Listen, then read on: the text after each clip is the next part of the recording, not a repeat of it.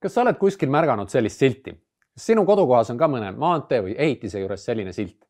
Neid on tõesti igal pool. aga mida see tähendab, kes see topib neid silte igale poole? see silt tähendab muidugi seda, et see maantee või ehitis või see video on valminud Euroopa Liidu toetusel. aga kust see raha üldse tuleb ja mis see Euroopa Liit üldse on, kuidas ta toimib ja mis kasu meie sellest saame? sellest tulebki siin videos juttu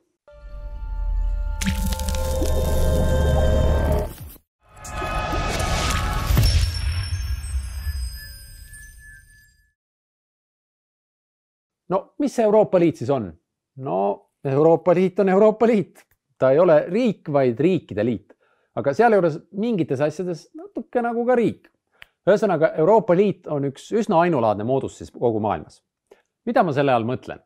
tavaliselt on iseseisev riik suveräänne ja tema võim oma territooriumil on täielik. tema nii-öelda all on näiteks linnad ja vallad, aga kõrgemal ei olegi midagi aga Euroopa Liidu liikmesriigid on loonud sellise riikidest eraldiseisva organi, sellesama Euroopa Liidu ja nad on mõelnud, et kuule, mõnda asja on koos lihtsam teha, anname mõned õigused koos sellele eraldi organile. jah, ma kujutan juba ette, et selle peale olete umbes, et aa, ära aja mul juhet kokku, eks see eurovärk on ikka see Brüssel, kes käsib meil igasugu asju teha ja lase meil rahus olla. aga ei, mis mõttes Euroopa Liit käsib meil igasugu asju teha ja lase meil rahus olla? meie olemegi Euroopa Liit, Eesti on täpselt samasugune Euroopa Liidu liikmesriik nagu teised ja Eesti kodanikud on täpselt samasugused Euroopa Liidu kodanikud nagu kõik teised. meie saame samamoodi Euroopa Liidu otsustes ja tegemistes kaasa rääkida, neid mõjutada. ehk siis mitte keegi muu ei käsi ega ei lase kui meie ise.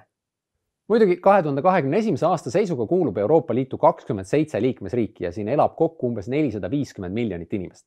nii palju riike ja inimesi ei saagi kunagi kõiges üksmeelel olla selleks, et kõigi soovidega arvestada, on Euroopa Liidus palju erinevaid otsustuskogusid, kus asju arutatakse ja otsustatakse ja me võiksimegi vaadata, kuidas see käib.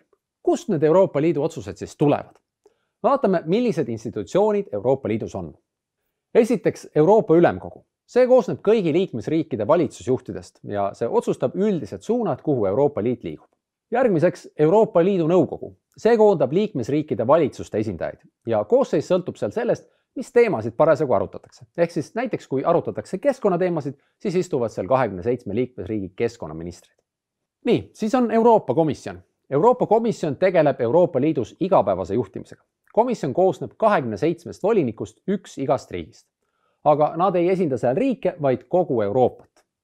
volinikud on natuke nagu ministrid, igaüks vastutab mingi kindla valdkonna eest, näiteks on transpordivolinik või kaubandusvolinik või energiavolinik. ja siis on veel Euroopa Parlament, see esindab Euroopa kodanikke.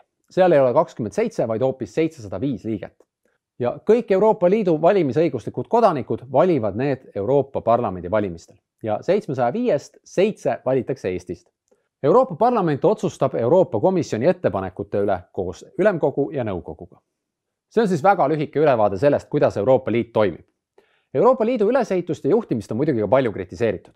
ühest küljest on öeldud, et Euroopa Liit on liiga aeglane, et kõik asjad tuleb sada korda läbi arutada, kõik peavad nõus olema aga kui on näiteks mingi kriis, näiteks pagulaskriis või on suur looduskatastroof või mingi ohtlik viirus levib üle Euroopa, siis oleks vaja ju kiirelt otsustada ja abi anda. chop, chop, chop, inimeste elud on mängus. aga selle asemel tuleb pidada sada erinevat koosolekut. kuid teiselt poolt on ka öeldud hoopis vastupidist, et Euroopa Liit ei ole piisavalt demokraatlik, et olulisi otsuseid teevad mingid täiesti tundmatud ametnikud, keda rahvas pole sinna valinud tõsi, näiteks Euroopa Komisjoni, mis meenutab natuke Euroopa Liidu valitsust, ei vali kodanikud otse aga noh, see tuleneb just sellest, et eurooplased ei ole soovinud, et Euroopa Liit oleks riik nagu Ameerika Ühendriigid. seni on tahetud, et ikka iga riik jääks iseseisvaks ja et kõige tähtsamad otsused teeksid riikide esindajad ehk Ülemkogu ja Euroopa Liidu Nõukogu. näiteks praegu on Eestist üks volinik kahekümne seitsmest, aga kui Euroopa Liidul oleks päris valitsus, mis määratakse ametisse Euroopa Parlamendi valimiste tulemusel ja riikidest sõltumatult, siis ei oleks Eestist seal valitsuses kedagi, peamiselt oleksid seal sakslased, prantslased ja itaallased, sest neid on lihtsalt kõige rohkem niisiis, eks siin ongi vaja otsida tasakaalu, et ühest küljest oleks võimalik mõistliku kiirusega otsusteni jõuda ja teisest küljest, et võimalikult palju arvestada nii riikide kui kodanike soovidega. see ei ole kindlasti lihtne ülesanne, aga noh, ilmselt meil on tõesti veel arenguruumi. igal juhul, mida ma tahan öelda, kui mingi seadus on meile tulnud Euroopa Liidu poolt, siis see tegelikult tähendab, et meie enda esindajad on selle seaduse loomisel osalenud ja muidugi siis, kui me oleme mingis asjas teiste eurooplastega koos kokku leppinud, siis me peame neid nõudeid ka täitma. Need on need niinimetatud euronõuded, mis võivad käia näiteks ehituse või autode või poes müüdava toidu kohta. aga nagu öeldud, siis need nõuded on ühiselt kokku lepitud ja need ei ole kehtestatud kellegi kiusamiseks, vaid ikka selleks, et inimeste elu paremaks teha. näiteks, et kogu toit, mis meil poes müüakse, oleks tervisele ohutu või et autod, mis meie teedel sõidavad, ei reostaks nii palju keskkonda. No olgu, aga tuleme nüüd selle juurde, mida sina või mina saame sellest, et Eesti Euroopa Liitu kuulub. no esiteks kõige elementaarsem, mis võib ära ununeda, tänu Euroopa Liidule on Euroopas pikka aega püsinud rahu, nii pikka sõdadeta aega pole Euroopa ajaloos varem olnud. ja no meiesuguse väikeriigi jaoks annab Euroopa Liitu kuulumine ka kindlust ja turvalisust, et me ei ole üksi. aga võtame veel konkreetsemalt, tuleme nende siltide juurde tagasi. Need sildid tähendavad ju sisuliselt, et Euroopa Liit toetab näiteks teede ehitamist, ettevõtlust, kultuuri, haridust, teadust ja see kõik on väga tore. Need on need niinimetatud eurotoetused, olete võib-olla kuulnud seda sõna. aga kust see raha üldse tuleb? ega see ei tule ju kuskilt taevast, vaid inimesed kõigis Euroopa Liidu riikides teevad tööd ja teenivad raha, maksavad selle pealt oma riigile makse ja väikese osa sellest rahast maksab iga liikmesriik Euroopa Liidu eelarvesse sisse ja siis sealt saab seda jälle laiali jagada. Ehk siis kõik riigid maksavad sisse ja saavad sealt ka midagi vastu. aga muidugi rikkamad riigid maksavad rohkem ja saavad kokkuvõttes vähem ja vaesemad riigid maksavad vähem ja saavad kokkuvõttes rohkem mõte on selles, et vaesemaid riike järgi aidata ja ebavõrdsust vähendada. ja noh, tundub päris õiglane ju, eriti meile siin Eestis, sest me oleme Euroopa Liidus jõukuselt alla keskmise, ehk siis meie saame Euroopa Liidust rohkem, kui me sinna vastu anname. meie oleme muidugi selle üle rõõmsad. Aga samas on kerge tekkima küsimus, et oot-oot-oot, kui me peaksime saama ka kunagi Euroopa keskmisest jõukamaks, kas meie hakkame siis ka vaesematele riikidele peale maksma? nojah, hakkame tõesti. ja siin tekib küsimus, et miks rikkamad riigid sellega üldse nõus on mida saab sakslane selle eest, et tema raha kulutatakse Võrumaal maantee ehitamiseks? miks nad ei ehita selle eest lihtsalt oma kiirteid veel laiemaks, et seal saaks veel kiiremini sõita? see on sellepärast, et nad ise ka võidavad teiste riikide toetamisest. Siin tuleb mängu see, et jõukuse hulk maailmas või Euroopas ei ole muutumatu, et see ei ole nagu näiteks see vesi siin, et seda on alati ühepalju ja saab ainult ühest klaasist teise valada või ühest riigist teise tõsta. kui riigid omavahel kauplevad, siis nad saavad mõlemad rikkamaks kui Euroopa Liidu rahadega ehitatakse Võrumaale uus maantee, siis see aitab kaasa Võrumaa ja Eesti majanduse arengule. ettevõtjad saavad paremini kaupu vedada, inimesed saavad tööl käia ja nii edasi. aga ühtlasi on Eesti ju Euroopa Liidu siseturu osa. Rikkamate riikide ettevõtted saavad paremini siia oma kaupu ja teenuseid pakkuda ja Võrumaa ettevõtjad saavad paremini mujale oma kaupu ja teenuseid pakkuda. ja lõpuks võidavad sellest kõik, me kõik saame sellest jõukamaks. olgu, ühesõnaga Euroopa Liit aitab meie majandusel areneda aga mida veel Euroopa Liidust kasu on? no see, et me saame vabalt liikuda. kui sa oled mõne Euroopa Liidu liikmesriigi kodanik, siis sa oled ühtlasi Euroopa Liidu kodanik.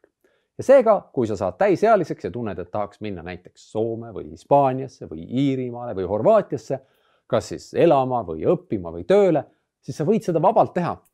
samas näiteks selleks, et minna Venemaale või Hiinasse ainuüksi reisile, peab sul olema viisa, rääkimata sellest, et sinna tööle ja elama minek on palju keerulisem ja rääkides õppimisest, siis võib-olla olete kuulnud midagi Erasmuse programmist. see on ka Euroopa Liidu loodud programm, mis annab rahalist toetust ja teeb lihtsamaks selle, kui sa tahad natuke aega õppida mõnes teises Euroopa Liidu riigis.